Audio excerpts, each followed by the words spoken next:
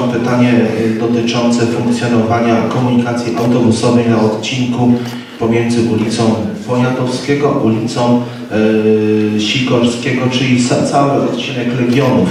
Y, Dotychczas przed modernizacją sieci tramwajowej funkcjonowały tam następujące autobusy. Autobus numer 3, autobus numer 18, autobus numer 19 i też wjeżdża autobus numer 13.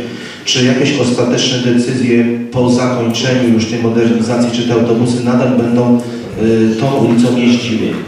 Panie Prezydencie. Co do autobusów wymienionych przez pana, pana radnego, no nie ma żadnych jeszcze pomysłów. Pracujemy, będziemy liczyć natężenia.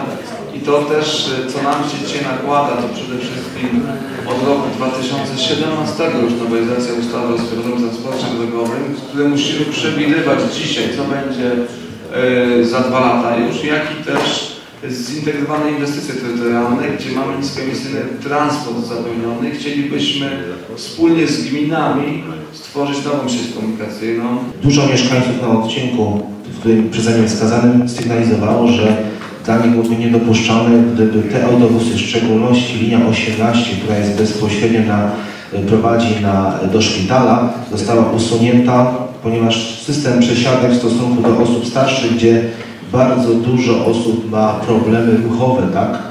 Ja chodziłem do mieszkańców, mieszkańcy mi to zgłaszali, nawet byli przekonani, że już tych linii nie będzie na tym odcinku. Wobec tego będę zobowiązany, Panie Prezydencie.